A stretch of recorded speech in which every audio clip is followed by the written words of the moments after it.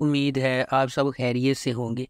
अगर आपने अभी तक हमारा चैनल सब्सक्राइब नहीं किया तो इसे अभी सब्सक्राइब कर लें और बेल आइकन को दबाना बिल्कुल भी मत भूलें। शुक्रिया। नंबर आठ, मोहब्बत दाग की सूरत। अपने वालिद की विफात के बाद एक नौजवान और ख़ूबसूरत लड़की, शजरत अपनी माँ के साथ अपने चचा के घर शिफ्ट होने पर मजबूर है। ख़ास तौर पर एक बहुत बड़े नुकसान से सेहत याब होने के बाद नई जगह पर आबाद होना शजरत के लिए एक चैलेंज बन जाता है। ताहम वो अली तालीम हासिल करने के लिए अपने वालद के ख्वाब को पूरा करने का इंतखब करती है। शजरत के कज़न आफाक के कदामन पसंद ख्याल जल्द ही इसके लिए एक मसला बन जाते हैं और इसके इर्द गिर्द की ज़िंदगी की पाबंदियों से भर देते हैं। ताहम वो असूलों की खिलाफ वर्जी करती रहती है। एक मुआज़ घराने से ताल्लुक़ रखने वाला सीनान जो यूनिवर्सिटी में शजरत का बेंच मेट है। चंद माह कबल सिनान का अपनी ज़ाती अलमिया इसे मुआरे में ज़िल्लत का आसान हदफ बना देता है। शजरत की मेहरबान तबीयत इसे सिनान के करीब करती है और वो जल्द ही एक दूसरे से मोहब्बत करने लगते हैं। नंबर सात, आतिश। कहानी असमा नामी एक यतीम लड़की से शुरू होती है जिसे इसकी माँ एक मुलाजमा ने छोड़ दिया था। माँ ने आसमा को इसके शराबी बाप के आतोफरोख्त होने से बचाने के लिए छोड़ दिया। और अपनी आजर से आसमा को उठाने के लिए कहती है। आजर राज़ी हो जाता है और आसमा को उठाता है। आसमा को पढ़ाई के बजाय घर के तमाम कर, करने में मज़ा आता है। इसे नुकरानी समझा जाता है हालाँकि आसमा खुद को ख़ानदान का फ़र्ज़ समझती है। इस ड्रामे को अजहर अली ने तैयार किया है शगुफ्ता भट्टी ने इस ड्रामे को लिखा है साइमा वसीम ने इस ड्रामे को डायरेक्ट किया है।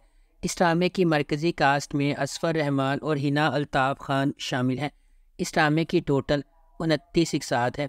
इस ड्रामे को हम टीवी पर नशर किया गया। नंबर छः कुछ ना कहो। ड्रामा एक बेवा माँ के गिर्द घूमता है, जिसके दो बच्चे, सज्जल और एनी है।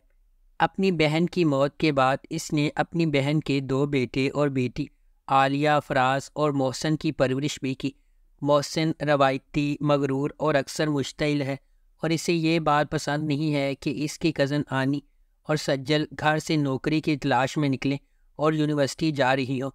मोहसन की शादी नादिया से हुई है और इसकी एक बेटी भी है। सज्जल और फराज और मोहसन की बहन है। आलिया की शादी नादिया का भाई फ़हद से हुई है। एनी को इमरान नाम का एक लड़का पसंद है जो एक बहुत अमीर घराने से ताल्लुक़ रखता है। वो दोनों एक दूसरे को पसंद करते हैं और शादी करना चाहते हैं। ताहम इमरान का अपनी एनी नाम एक कज़न है। जो इससे शादी करने के लिए कुछ भी करेगी। जब इसे वाज तौर पर मालूम हो जाए कि वो एनी को पसंद करते हैं, मोहसन को आनी के इमरान के साथ अफेयर का इलम था और इसने आनी को यूनिवर्सिटी से मना कर दिया था, क्योंकि वो सबसे बड़ी थी, इसलिए किसी को इससे इख्तलाफ करने की हिम्मत नहीं थी।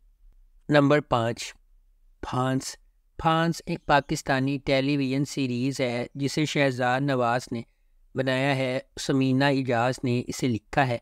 सैयद अहमद कामरान ने इस ड्रामे को डायरेक्ट किया है। इस ड्रामे की मरकज़ी कास्ट में समी खान, ज़ारा नूर अब्बास और शहजाद शेख शामिल हैं। शेख ने अपने करियर में पहली बार एंटी हीरो का किरदार अदा किया है। ये सीरीज़ एक जिनसी ज़्यादती से बच जाने वाली लड़की की, जद्दोजहद की कहानी की पैरवी करती है। इस ड्रामे की टोटल तीस इकसात हैं। इस ड्रामे को हम टीवी पर नशर किया गया। नंबर चार तेरे बिन। मीरब एक पुरजोश और ख़ूबसूरत नौजवान लड़की है, जो अली तालीम हासिल करना चाहती है।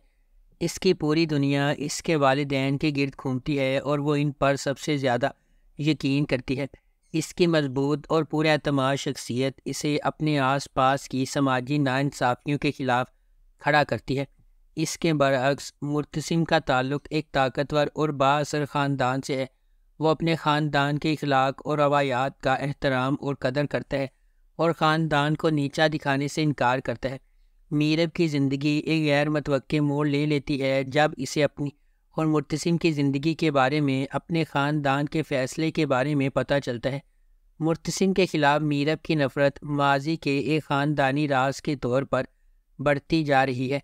मुख्तु पस मंज़र और जहनीत से आते हुए मुर्तसिम को मीरब के अपने तय मुतकबराना रवैये का एहसास होने लगता है और वह इसे अपने लिए एक चैलेंज समझने लगता है।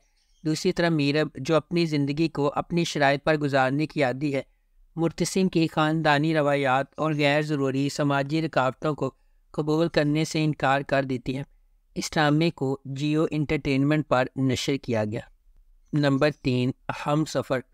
खीरत एहसन का ताल्लुक हैदराबाद में एक निचले मतवसत तबके से है और वो अपनी बेवा माँ मैमूना के साथ एक छोटे से अपार्टमेंट में रहती है।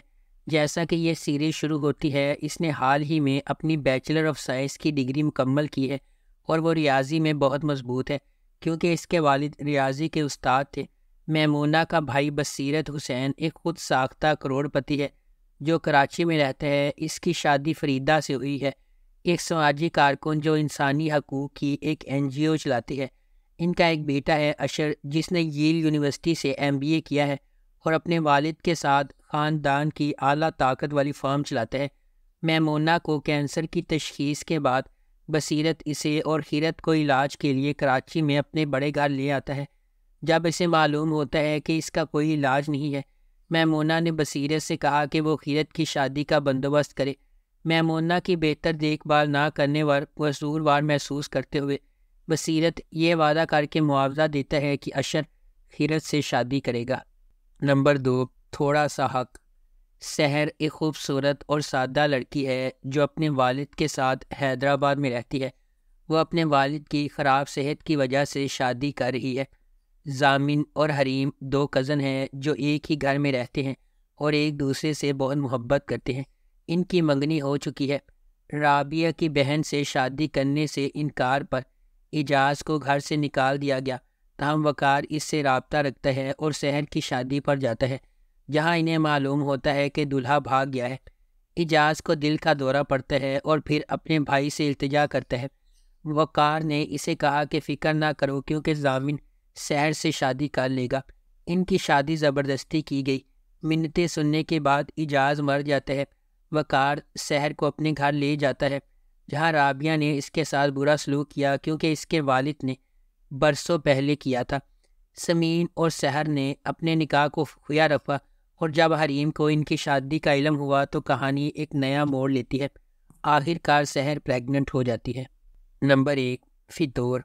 हमज़ा और दिल नशीन मोहब्बत में दीवाने हैं, और शादी के बंधन में बंधने के लिए बेचैन है। बदकिस्मती से तकदीर एक गैर मतवक़ मोड़ ले लेती है, जब हैदर जो अपनी खोई हुई मोहब्बत, महमल के लिए अकेले वजूद की क़ियादत करता है। एक ख़ानदानी रिश्ते में दिल नशीन का सामना करता है और फौरी तौर पर इससे मुतासर हो जाता है। इसी दौरान महमल, जिसकी शादी टूट गई थी, हैदर की ज़िंदगी में दोबारा दाखिल होती है। नतीजे के तौर पर इन चारों अफराद की ज़िंदगी आपस में जुड़ जाती है और पुरजोश मोहब्बत, दर्दनाक एतराफ़ात, आँखें खोल देने वाले हकाइक पुख्ता यकीन, दिल दहला देने वाले दिल शिकन, शदीद इंतकाम, तलख दुश्मनी और दिलेराना बगावत की एक हंगामा खेज कहानी सामने आती है। हदर के लिए आता है जिसकी शादी इसकी नतीजे से होती है और हमज़ा अभी तक सिंगल है। जब वो मंशियात का सामना करता है और इनका आदि हो जाता है, इस हकीकत पर अपने दर्द को दूर करने की कोशिश करता है और इसकी मोहब्बत दिल नशीन इसकी शादी के बाद वापस नहीं आती। इस को जियो इंटरटेनमेंट पर नशर किया गया। अगर आपको हमारी ये वीडियो पसंद आई है तो इसे लाइक करें, शेयर करें और हमारे चैनल को सब्सक्राइब करना बिल्कुल भी मत भूलें। शुक्रिया।